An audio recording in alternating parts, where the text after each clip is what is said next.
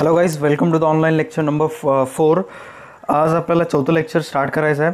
पण जर चौथं लेक्चर स्टार्ट करण्याच्या अगोदर तुम्हाला काही इम्पॉर्टंट सूचना वगैरे द्यायची आहेत सर्वात पहिली गोष्ट तुमच्याकडून हे एक्सपेक्टेड होतं कालच्या लेक्चरमध्ये की जे कालचं जे प्रॉब्लेम होतं रुचा आणि जुईलीचं ते तुम्ही दोन्ही मेथडनुसार केला असाल. जर इन केस ते दोन्ही मेथडनुसार केला नसाल तर प्रत्येकाने प्लीज ते दो प्रॉब्लेम दोन्ही मेथडनं करून घ्यायचा आहे. एक सिंपल मेथड आणि दुसरी कॅपिटल मेथड आणि आज आपल्याला प्रॉब्लेम स्टार्ट करायचा प्रॉब्लेम नंबर फोर जसं की तुम्ही प्रॉब्लेममध्ये पाहू शकता पार्टनरचे नाव दिलेलं आहे पियुष आणि अरुण.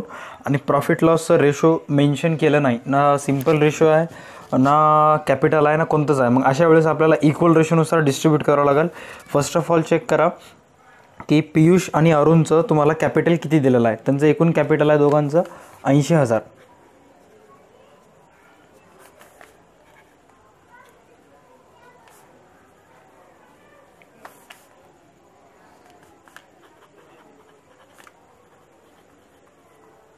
ओके चला ॲडजस्टमेंट नंबर फर्स्ट आपण चेक करू फर्स्ट ॲडजस्टमेंट आहे stock on hand on thirty first March दोन हजार एकोणीस वॉस कॉस्ट प्राईस चाळीस मार्केट प्राईस पस्तीस. तर आता अशा वेळेस कोणती प्राईस घ्यायचं? विचेवर इज लेस लेस कोणती आहे? पस्तीस हजार. पहिली पोस्टिंग ट्रेडिंगच्या सी आरला दुसरी पोस्टिंग कुठं जाईल ॲसेटला त्याच्यानंतर सेकंड ॲडजस्टमेंट आहे इम्पॉर्टंट ॲडजस्टमेंट आहे प्रत्येकाने ट्रायल बॅलन्स आणि ॲडजस्टमेंट तुम्ही लिहिलाच असताल तर त्याच्यामध्ये स्टार करून घ्यायचा adjustment number सेकंडला interest on fix deposit is rupees बाराशे इज स्टील रिसिवेबल ठीक आहे मी आणखी एक वेळेस adjustment interest on fix deposit rupees बाराशे is still receivable still receivable म्हणजे याचा अर्थ काय? की जे आपण फिक्स डिपॉझिट म्हणजे एकूण किती रुपये फिक्स डिपॉझिटमध्ये गुंतवणूक केला होता? पंधरा हजार रुपये. ट्रायल बॅलन्समध्ये सर्वात शेवटी दिसेल तुम्हाला. प्रत्येकजण चेक करा की पंधरा हजार रुपये आपण फिक्स डिपॉझिट केला होता. तर त्या पंधरा हजार एकूण पंधरा हजारची पोस्टिंग कुठे जाईल? ॲसेटला तर त्या पंधरा हजारवर इंटरेस्ट आपल्याला स्टील किती रुपये येणं बाकी आहे? बाराशे रुपये येणं बाकी आहे. तर प्रत्येकानं रिक्वेस्ट आहे की स्टील रिसिवेबलच्या समोर ऑब्लिकचं चिन्ह द्यायचं. असं ऑब्लिकचं चिन्ह देऊन समोर लिहायचं.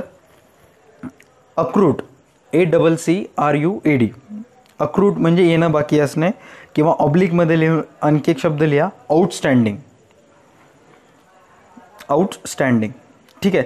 सर्वात पहिले तुम्ही फिक्स डिपॉझिट ॲसेट साईडला लिहिला किती हजार? पंधरा हजार. तर एकूण पंधरा हजारवर तुम्हाला किती रुपये येणं बाकी आहे? इंटरेस्ट किती रुपये येणं बाकी आहे? बाराशे. आता ट्रायल बॅलन्समध्ये चेक करा. नीट चेक करा की ट्रायल बॅलन्सच्या सी आरला किती रुपये दिलेला आहे? एक हजार. तर आता अर्थ समजून घ्या की एकूण जे तुम्ही गुंतवला त्याची रक्कम किती आहे? पंधरा. त्याच्यावर येणं किती बाकी आहे? बाराशे आणि टोटल आलेत किती तुम्हाला इंटरेस्ट त्याच्यावर? हजार. तर जे इंटरेस्ट तुम्ही रिसिव्ड केला त्याची पोस्टिंग जाईल प्रॉफिट अँड लॉसच्या सी आरला तुम्ही ड्युरिंग दर किती रिसिव्ड केला? एक हजार. स्टील आउटस्टँडिंग येणं किती बा बाकी आहे? बाराशे. तर एक हजारमध्ये बाराशे का होईल? ॲड आउटरला किती? बावीसशे. आणि या बाराशेची दुसरी पोस्टिंग जाईल. बॅलन्स शीटच्या ॲसेट साईडला पंधराशेमध्ये बाराशे का होईल? ॲड पंधराशेमध्ये बाराशे का होईल? ॲड आता चेक करा ह्या ॲडजस्टमेंटचं सेकंड पार्ट हां सपोज असं जर नाही विचारलं तर कसं विचारेल? जर सपोज समजा जर तुम्हाला ॲडजस्टमेंटमध्ये एवढंच दिलं असतं की interest on fix deposit is rupees बाराशे. एवढंच. Interest on fix deposit is rupees बाराशे. स्टील रिसिवेबल वगैरे काहीच दिलं नसतं. तर त्याचा अर्थ काय झाला असतं की एकूण तुम्हाला फिक्स डिपॉझिटवर इंटरेस्ट किती यायचा आहे? बाराशे. तर असं अशा सिच्युएशनमध्ये बाराशेपैकी तुम्हाला किती आलं असतं? हजार. मग राहिले किती असते?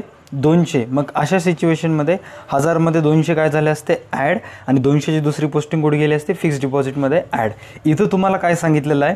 की सरळ सरळ बाराशे रुपये येणं बाकी आहेत.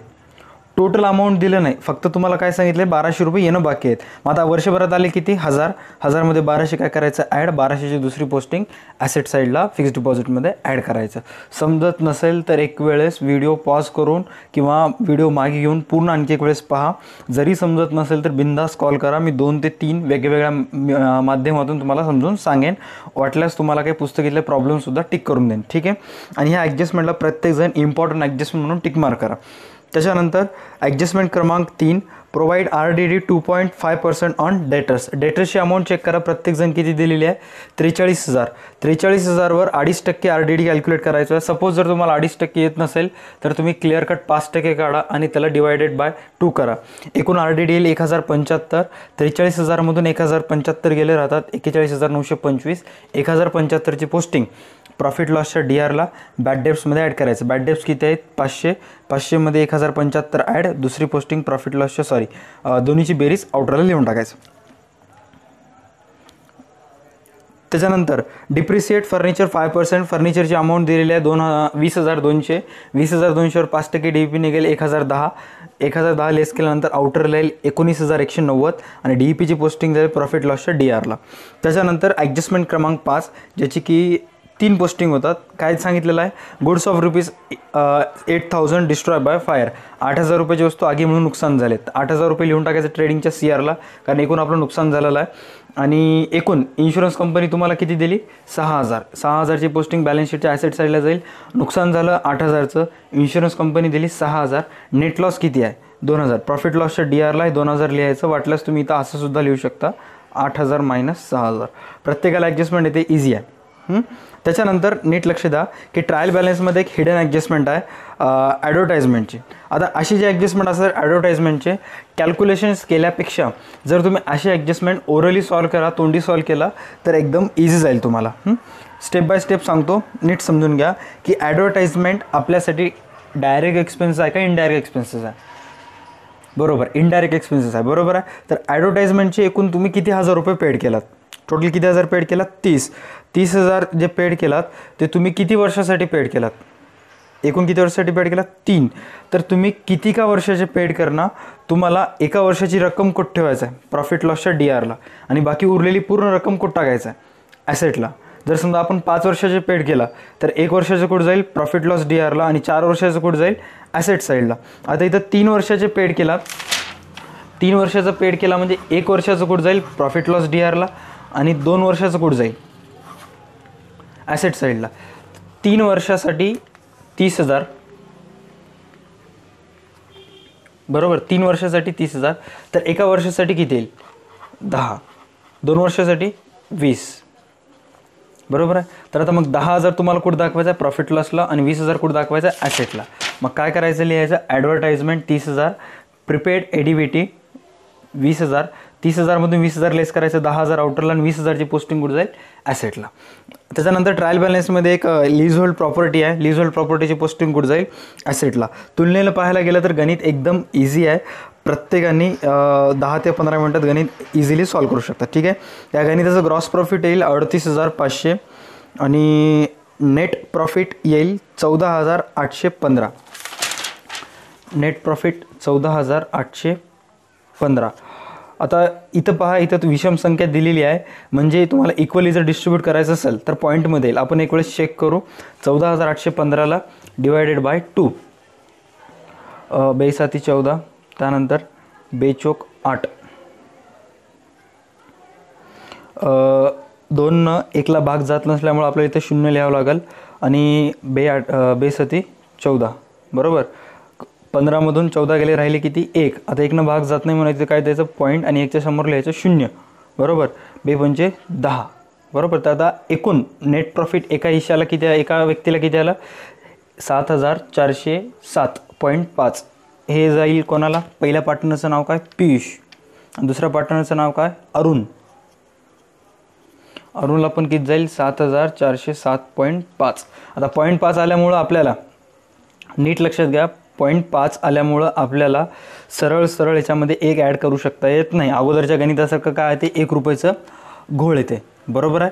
तर अशा सिच्युएशनमध्ये काय करायचं की कोणत्याही पार्टनरला एक रुपये जास्त देऊन टाकायचं. कोणत्याही पार्टनरला द्या तुम्ही कारण गणितामध्ये कसं आहे की आपण सर्वात पहिले काय बघता? कॅपिटल कॅपिटल जर जास्त असेल तर प्रॉफिटमध्ये हिस्सा जास्त. बरोबर? कॅपिटल जर कमी असेल तर प्रॉफिटमध्ये हिस्सा कमी. तर त्याचं कॅपिटल पण इक्वल आहे.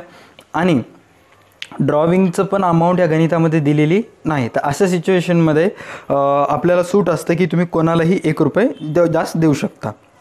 तर आता पियुषला आपण काय करू? एक रुपये जास्त देऊन टाकू. पियुषला लिहू इथं सात हजार चारशे आठ रुपये आणि अरुणला देऊन टाकू सात हजार चारशे सात रुपये.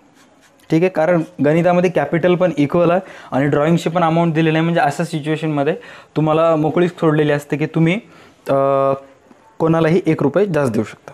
ठीक आहे? त्याच्यानंतर कालच्या जे गणित बघितलं होता आपण का एक प्रॅक्टिस प्रॉब्लेममधलं आय थिंक गणित आहे ते की ज्याच्यामध्ये ॲडव्हर्टाईजमेंट दिलेलं आहे लई जणांना समजलं नाही तर त्याच्याबद्दल थोडीशी थेरी इथे दिलेली आहे. जर समजत नसेल तर तुम्ही काय करा स्क्रीनशॉट काढून घ्या आणि हे जी इन्फॉर्मेशन मी इथे लिहिलेली आहे ॲज अ नोट्स म्हणून तुम्ही कुठेतरी लिहून टाका. ठीक आहे? तर आज आपण एकूण आजच्या गणितामध्ये आपण चौथा प्रॉब्लेम सॉल्व केला. तर उद्या आपल्याला पाचवा प्रॉब्लेम पाहायचा आहे. पाचवा प्रॉब्लेम पाहू शकता तुम्ही. राम आणि कृष्णाचं करंट अकाउंटचं प्रॉब्लेम आहे. ठीक आहे?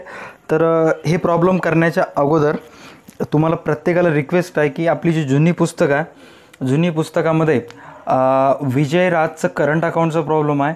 तर ते प्रॉब्लेम प्रत्येकांनी आजचं प्रॉब्लेम सॉल्व केल्यानंतर हे जे आता प्रॉब्लेम सॉल्व करणार तुम्ही लगेच हे प्रॉब्लेम सॉल्व केल्याबरोबर विजय राजचं प्रॉब्लेम सॉल्व करून ठेवायचं.